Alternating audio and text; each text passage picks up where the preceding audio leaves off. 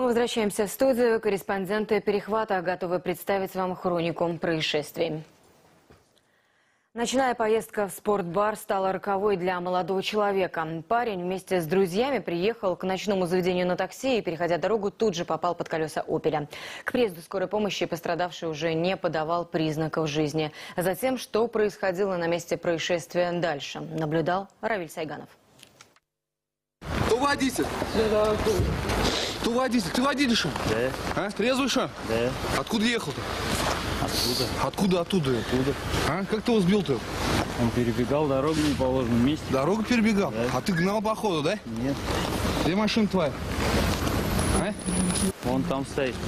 Когда на место подъехали друзья погибшего, их общение с водителем едва не переросло в потасовку. Полицейские в любой момент были готовы вмешаться в конфликт.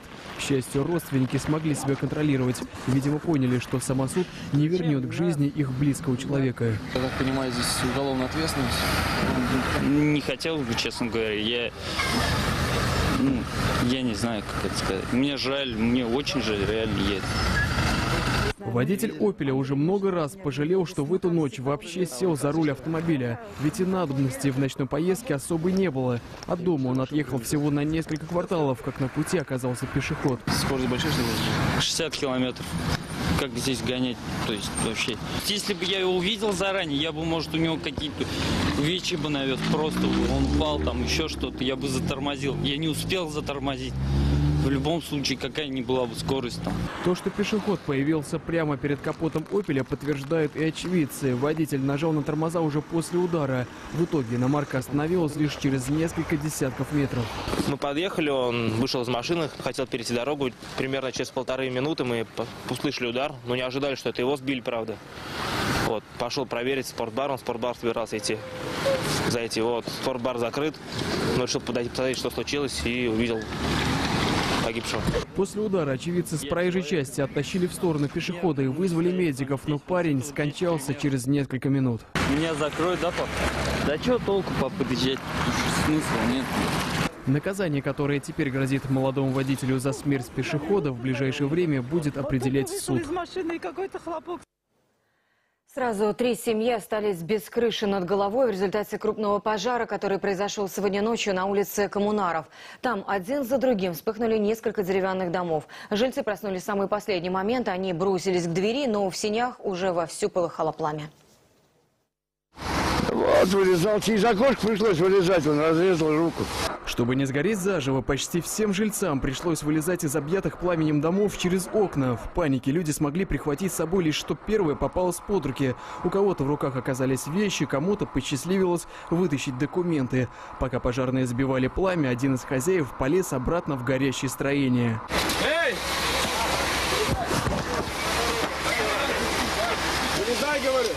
У молодого человека в доме догорали почти все документы. Он вспомнил, что в прихожей лежали джинсы, в карманах которых остались кое-какие деньги. Недолго думая, парень решил рискнуть. К счастью, пожарные вовремя вытащили человека из задымленных комнат. Мы не спали, мы только выключили телевизор, только выключили. Буквально вот, выключили. И смотрю, что все, ну, полыхает, короче. Какой-то треск стоит. И все, что я в окошко смотрю, сейчас сюда. Горит. Жене говорю, что смысла нет туда выходить. Буквально в окошко, вот и все. Возгорание началось с соседского дома на две семьи. Из-за чего возник пожар, люди не знают. Ни один из домов не был газифицирован, топили дровами. Не исключено, что пламя началось из-за перекала печи. Подъехавшие пожарные, чтобы избежать возможных взрывов, в первую очередь стали вытаскивать из огня газовые баллоны. Одни из жильцов всего несколько месяцев назад взяли в банке большую сумму денег в кредит и только завершили капитальный ремонт в своем доме. Ну, там они вложили реально деньги, короче. Реальные деньги. Вот, пожалуйста. Все сгорело. Новая проводка, пластиковые окна, все полы новые, все новое сделали.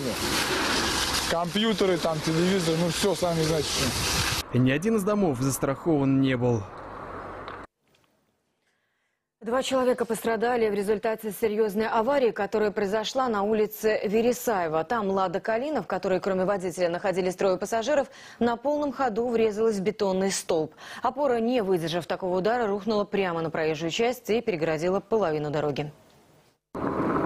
Одним из очевидцев аварии стала Юлия Морозова, которая работает в придорожном магазинчике продавцом. В отсутствии покупателей она разговаривала с подругой по телефону, стоя у окна, которое как раз выходит на улицу Вересаева. Въехала машина быстро, и удар врезалась. Вот все, все, что я видела. И думала, еще столб на наш рынок упадет, но он не достал. Из-за провода испугались. «Лада» налетела на столб правым боком. Удар был такой силы, что кузов автомобиля получил очень сильные повреждения.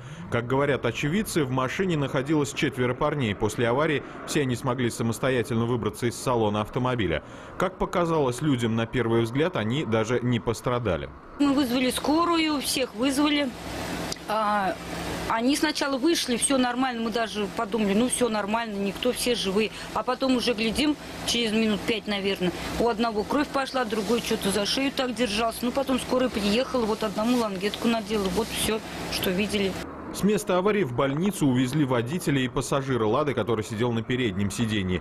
Еще двое молодых людей от госпитализации отказались. Упавший на дорогу столб удалось быстро убрать с проезжей части, и движение транспорта было полностью восстановлено.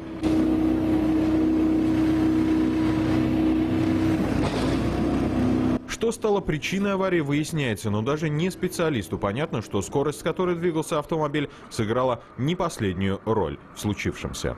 Ну ехали, наверное, очень быстро. Про столб снесли, а вообще дорога пустая была. Ну тут гололед вот так и занесло. Жаркие споры между водителями вызвала авария, которая произошла на перекрестке улиц Кабицкая и Глушко. Там практически лоб в лоб столкнулись «Лада» 10 модели и Hyundai Santa Fe. Чтобы разрешить спорную ситуацию, на место выехали инспекторы ГАИ, а чтобы оказать помощь пострадавшему, бригада медиков.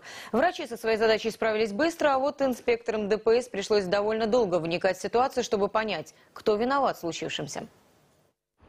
На первый взгляд, вина водителя корейского паркетника была очевидна. Мужчина при повороте налево должен был уступить дорогу встречному транспорту, но сам владелец иномарки говорит, чтобы с выводами не спешили. Стоял на перекрестке, чтобы совершить маневр налево. Тот ехал прямо, то есть он, он говорит, скорость у него большая была, где-то километр 70-80 была скорость у него. И он, когда стоял, он в него в стоячий врезался. А люди с иномарки утверждают, что владелец «Лады» мог спокойно проехать мимо. Для него якобы было достаточно места. Но из-за высокой скорости парень не справился с управлением. В свою очередь, у хозяина «десятки» своя точка зрения. Скорости большой не было. Он мне должен был уступить дорогу, но он ее не уступил. Он начал поворачивать. Я думал, то, что он меня пропустит. Но он, видать, замешан. Сначала он дернулся, потом вроде затормозил, потом опять.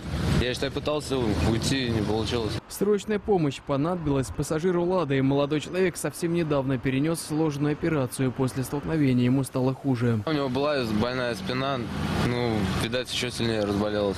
Вероятно, виновным в аварии признает водителя полноприводной иномарки, но независимо от решения восстанавливать паркетник будет страховая компания по полюсу «Каска». Буран попал в аварию в Кировском районе Казани. Снегоход и внедорожник столкнулись на Горьковском шоссе в районе озера Лебяжье. Буран выехал на дорогу из леса со стороны базы отдыха. Мужчина, управлявший им, намеревался пересечь дорогу. Когда он выехал на проезжую часть, его буквально снес BMW X3, который ехал по трассе в сторону Казани. После столкновения внедорожника и снегоход выкатились на полосу встречного движения. Мужчина, управлявший Бураном, получил различные травмы средней тяжести и был госпитализирован травмирован. Водитель, БМ... Водитель БМВ не пострадал, его уберегли сработавшие подушки безопасности.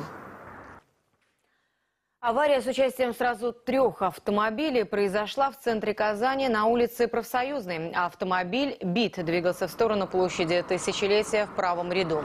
Водитель китайского седана решил заехать на многоуровневую парковку и, не меняя рядности, начал маневр.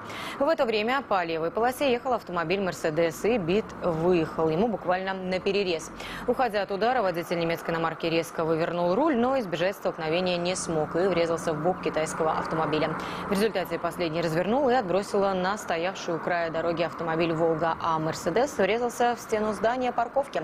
Как говорят автоинспекторы, вина водителя китайской иномарки в данном случае очевидна. 400 граммов героина изъяли сотрудники наркоконтроля у одного из пассажиров авиарейса Душанбе-Казань. 23-летний мужчина пытался провести контрабанду внутри самого себя. Он проглотил несколько десятков герметичных контейнеров с наркотиком, но при прохождении таможенного контроля был задержан. Его доставили в больницу, где все контейнеры были выведены из его организма. Такой способ контрабанды наркотиков уже давно известен оперативникам, причем он является одним из самых опасных для самого курьера. Так, в прошлом году на борту самолета, летевшего из Душанбе в Москву, скончался один из пассажиров. Позднее выяснилось, что мужчина тоже пытался провести в Россию героин, но контейнеры оказались не герметичны. С собой что там везешь? Вот это твое? Да. Это что, героин? Да. Это опасно, да? Да. Знаешь, что опасно? Да. Тебе деньги обещали? В Республиканской клинической больнице при помощи специального оборудования медики обнаружили в желудочно-кишечном тракте глотателя 71 инородный предмет. Это герметичные капсулы с героином. Процедура по их выведению из организма э, проводилась при э, медицинском наблюдении, так как разрыв хотя бы одной из них мог вызвать летальный исход. Каждый день мы рассказываем вам об опасностях жизни, чтобы с вами такого не случилось. А я прощаюсь с вами. Всего доброго.